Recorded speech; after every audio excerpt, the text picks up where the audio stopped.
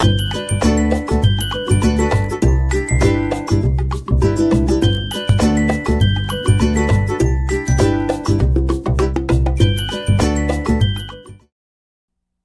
everyone, this is part two of hedonic testing as part of the sensory analysis um, video series for our programs at Niagara College and some of our partners such as CICAN.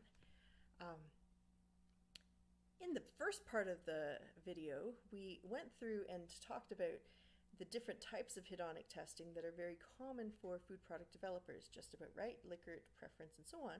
And in this video in particular, we're going to interpret hedonic scores to be able to make formulation recommendations. And so we're going to take the time to do more of the data analysis and make sure that people really have a strong sense of how to take the data from these and be able to make recommendations. So I'm going to jump out to uh, a survey tool to be able to show how the data is managed and how to create the right survey um, mechanisms.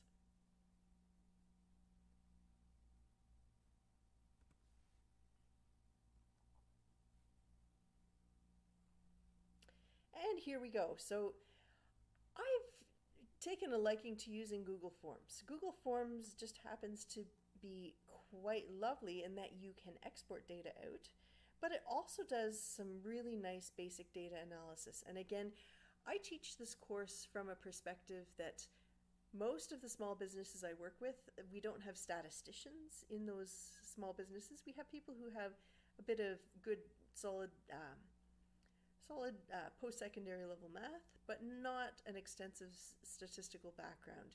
And so data analysis I take from a very um, user-friendly approach and Google Forms just happens to be a really nice platform for being able to do that.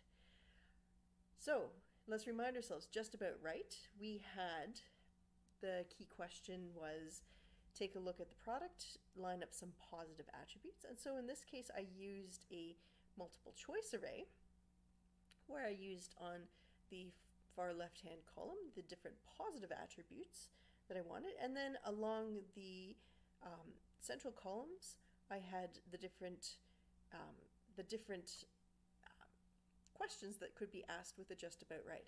So I used a five point linear scale, and in the case of these attributes, I could go from way too little of the attribute, slightly too little, just about right, slightly too much, and way too much. And again, I wanted symmetry on the central data point, which is just about right.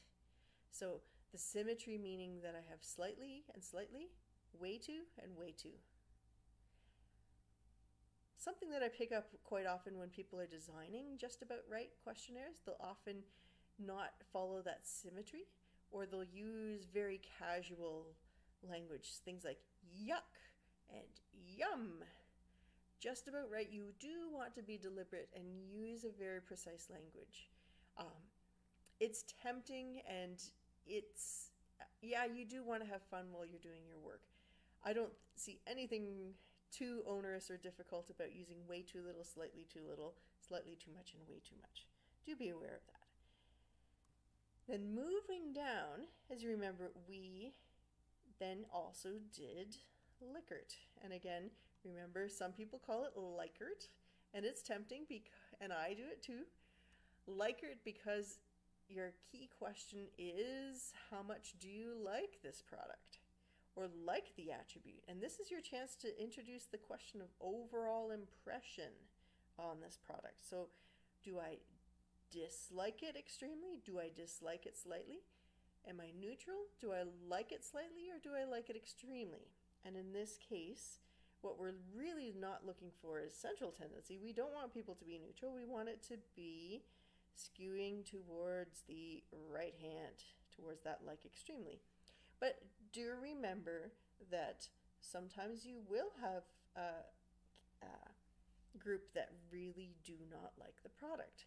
Think of uh, super spicy um, tortilla chips like Doritos or hot sauces or I keep gravitating to uh, spicy foods. Some strongly flavored foods are very polarizing, and you may have a small group that loves that product and uh, likes every attribute extremely, but then a second group that dislikes that product extremely. And do be aware that if you've got that really avid group that enjoys the product extremely well, that it, it, do additional analytics to make sure that that's a group that's going to be consistently buying that product and devoted to your product.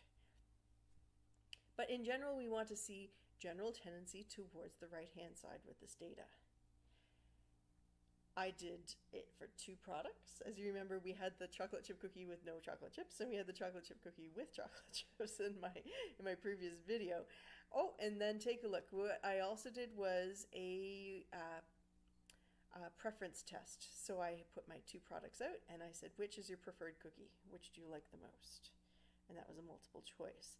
The nice thing about the survey tool is that you can then you can get uh, a web link and you can send that out by email to your participants or it could be if you are doing it in a more formal setup that um, you've preloaded iPads or computer tablets in each of the sensory booths as participants come in the computers preloaded so that they have the survey tool right in front of them.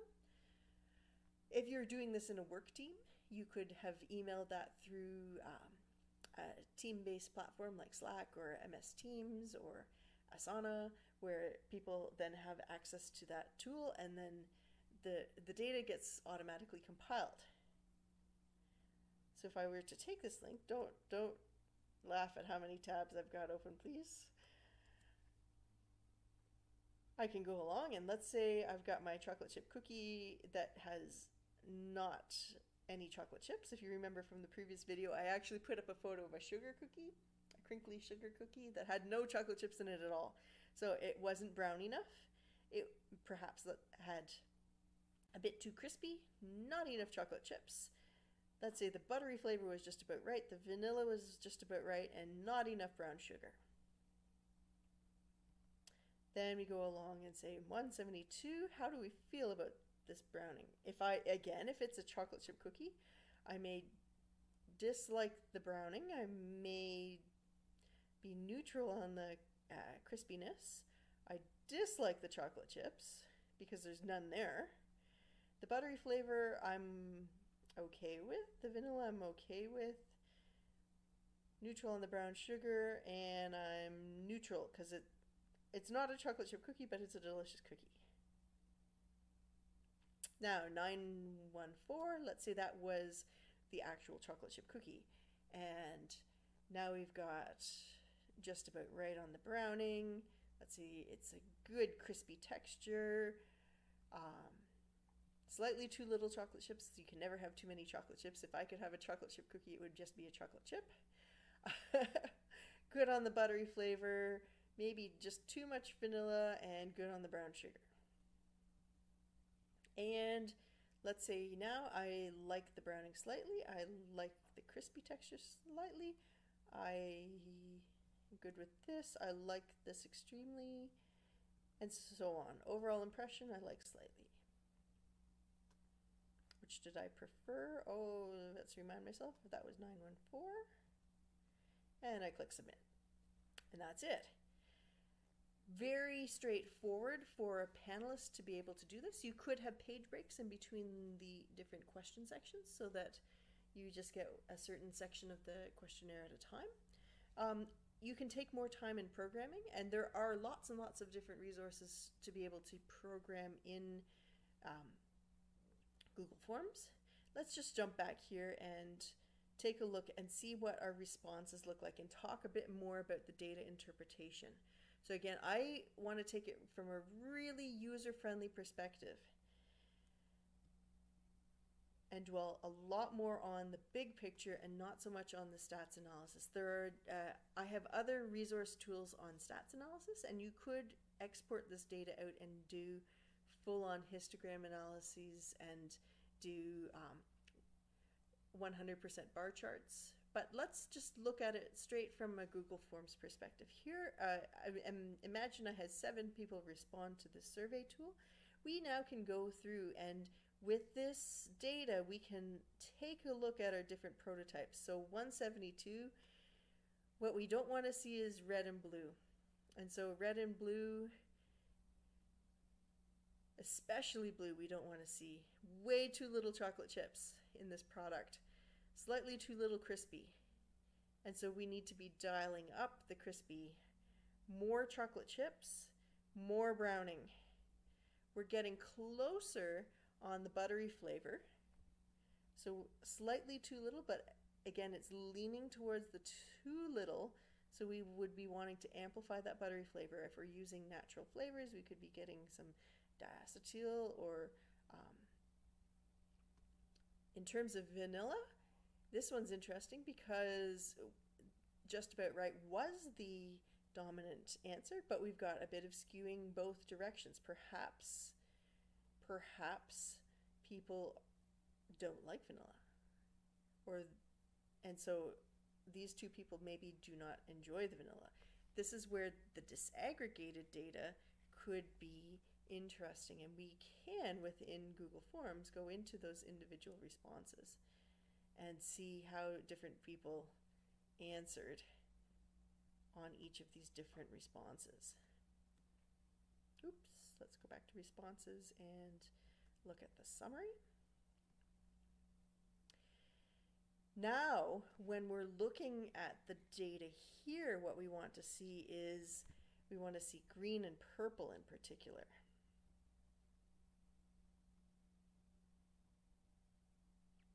We interesting.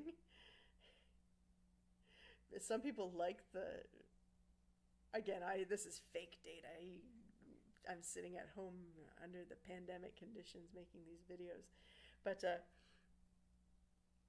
in general, in terms of chocolate chips, people are unhappy with the chocolate chip situation in those cookies. Remember, they were white sugar cookies. There were no chocolate chips. That's why they're disliking this.